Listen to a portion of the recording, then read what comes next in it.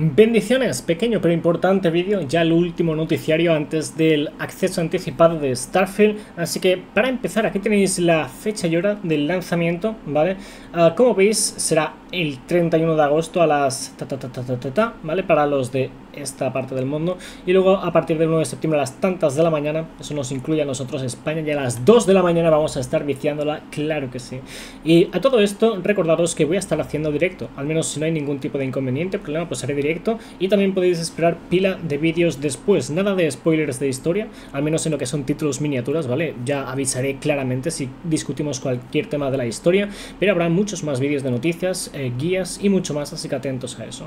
Uh, dicho eso, aquí tenemos un mensaje de gracias de Todd, es Todd, el pana en el Reddit de Starfield. Básicamente nos da las gracias a aquellos que están en el Reddit, pero básicamente a todos, ¿no?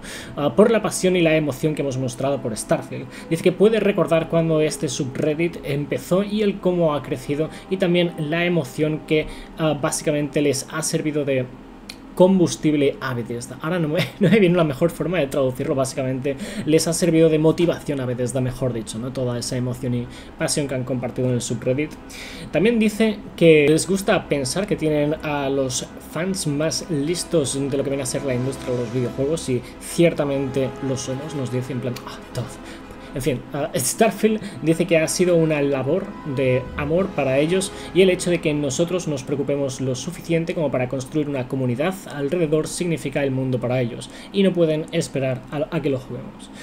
Ahora sí, unas palabritas de todo antes del lanzamiento, nice, pero hay más aún. Uh, también lanzó este otro statement, aunque este no está dirigido precisamente a nosotros. Esto es un mensaje que le ha mandado a todos los que han estado trabajando en Starfield, en general, ¿vale? Microsoft, Xbox, Bethesda, todos aquellos involucrados en Starfield. Uh, y dice lo siguiente. Para empezar, dice, llame a la puerta de Robert Altman. Y dice, ¿tienes unos minutos? Claro. Era principios de 2013.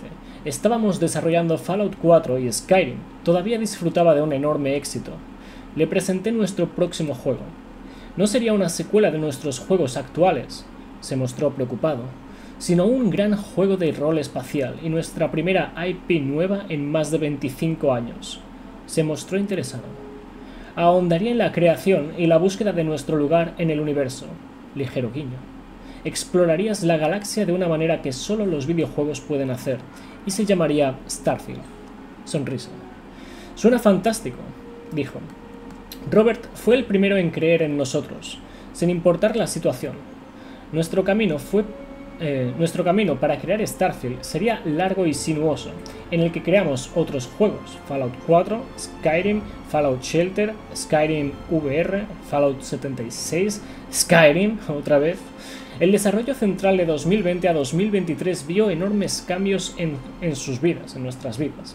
Una pandemia global, el fallecimiento de Robert y el paso a Xbox. Es increíble estar en el momento en el que Starfield finalmente se lanza esta misma semana. Solo existe porque todos los demás también creyeron. Todos en Zenimax nos han apoyado durante décadas y todos hemos dado nuestra mejor versión hasta el momento. Un agradecimiento especial a nuestros equipos editoriales que intentaron crear no solo otro lanzamiento, sino algo que capturara las mentes e inspirara a los jugadores de todo el mundo, un pequeño pausa. O sea, este juego también está pensado para inspirar a ingenieros, a futuros astronautas, en plan, sí, para motivarte a ir más allá. Uh, continúa y dice, y a nuestros socios de control de calidad que tuvieron la difícil tarea de probar un juego en el que cualquier cosa puede suceder y sucederá. Espero que no se refiera a bugs, ¿verdad? Y gracias a Jamie Leather, y nuestros equipos de administración y recursos humanos que apoyaron a todos durante los años más desafiantes a los que ninguno de nosotros se había enfrentado. Y por supuesto está Phil Spencer. Su apoyo a cada juego y a cada jugador ha sido inquebrantable y feroz. Unirnos a Xbox nos acercó a muchas personas con las que habíamos trabajado durante más de 20 años. No puedo imaginar un lugar mejor para crear juegos, donde se permita que florezca la diversidad de estudios, creadores y juegos. Este apoyo provino de todo el equipo directivo de Xbox y de todas las áreas de soporte editorial y de desarrollo. Un agradecimiento especial a los magos de ATG, cuyos hechizos y encantamientos ayudaron a que este fuera nuestro juego con mejor rendimiento. Lo más importante es el equipo con el que trabajo en Bethesda Game Studios. Es una bendición increíble estar rodeado de tanta gente talentosa e inspiradora todos los días. Momentos como este te hacen reflexionar. Algunos de nosotros hemos estado juntos durante décadas, otros se unieron más recientemente, pero todos tenemos la misma pasión. No podría estar más orgulloso de su continua dedicación para crear algo verdaderamente especial. Por último, muchas gracias a todos los miembros de la familia Xbox y a Bethesda. Su entusiasmo y aliento han significado mucho para nosotros. Crear este juego ha sido una de las experiencias más desafiantes y emocionantes de nuestras carreras. Un viaje que nunca, que nunca olvidaremos. Y al, llegar al final de este capítulo, os lo pasamos a vosotros. Cada uno de ustedes recibirá el juego con acceso anticipado y podrá comenzar a jugar este viernes 1 de septiembre, pero, como es un horario global, podrán jugar el jueves por la noche. Gracias, Nueva Zelanda. En fin, esperamos que tengas la oportunidad de jugar y que tu viaje sea tan gratificante como el nuestro. Ahora, además de ser, ¿sabes? En plan, unas palabras en plan guay, se lo ha currado, pedazo de textazo ahí para los de Microsoft, Xbox Bethesda, es un puntazo.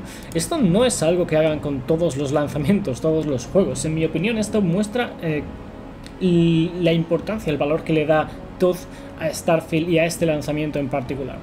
De algún modo, o sea, es en plan, no quiero decir que esto vaya a sumarle más a lo que ya va a ser Starfield, pero sí, creo que es algo a destacar.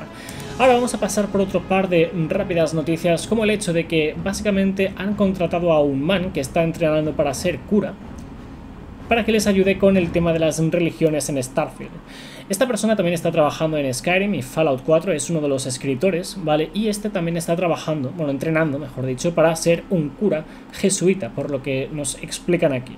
Y básicamente para enriquecer el lore de Starfield, ¿vale? Para que sean no solo más creíbles, se pueda decir, las religiones, sino para que encajen bien en el universo y también para que no sea algo que pueda ofender a la gente de cualquier otra religión, ¿no? Pues básicamente han llamado a este pana llamado Shane Lis, Lisgang, no, no, creo que lo haya pronunciado bien, pero Shane Lisgang, ¿vale?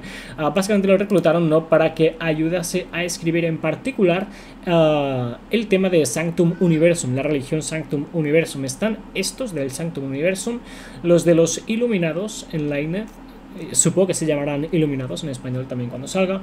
Y quiero recordar que pasamos por una tercera religión de la que hablamos hace no mucho. O sea, hubo un vídeo en el que hablamos sobre tres religiones clave. El caso es que Shane va a ayudar con Sanctum Universum, probablemente con algunos otros temas. Igual, como mínimo, revisa lo que hayan hecho con las otras religiones. Pero es un punto interesante ¿no? que quería destacar de cara a cómo Bethesda se ha preparado para uh, presentar las religiones en el juego. También, por cierto, nos confirma que la historia de Starfield no revela cuál de las religiones lo tiene, o sea, básicamente es acertada, ¿no? Cuál básicamente es cierta. Uh, dice que está abierta a interpretación, así que sí, igual alguna de las religiones puede pareceros loca, pero eso no significa que, que, estén equivocados. En fin, además de eso, también tenemos este último aviso importante. Esto es un pequeño aviso que quería compartir con vosotros. También, al menos para los de Steam en particular, parece que suele ocurrir más. Básicamente, cuando el juego esté disponible el 31 de agosto, bueno, para algunos el 31, para otros el 1 de septiembre, ¿no? Cuando ya podamos jugar, a Steam empezará a descargar los paquetes que ya hayas descargado. Mejor dicho, empezará a desencriptarlos, creo que se le dice, ¿no? Uh, en ese momento, si te fijas, la barrita que ponga de descarga de Steam no será de color azul, será de color verde, ¿vale? La azul significa que está utilizando la red, ¿no? Que está descargando algo y la verde significa que está utilizando el disco duro, ¿no? O el disco del que estés utilizando. Es que básicamente si ves la línea verde significa que están desempaquetando todo ese contenido, ¿no? Y en cualquier momento, pues en cuanto termines, mejor dicho, podrás jugar, ¿vale? No te pongas a mirar a ver qué pasa con la descarga, a ver si tienes que desinstalarlo, no te rayes, ¿vale? Barrita verde significa que está desempaquetando, tranquilos, ¿vale? Uh, os vuelvo a pasar, por cierto, el horario este y para terminar también tenemos la página de Twitter de Starfield, tendréis todo abajo en la descripción, en la que han compartido varios pequeños clips, ¿no? Como por ejemplo este en el que nos muestran algunas de las localizaciones de este sistema en particular. Oh, Dios mío, espérate.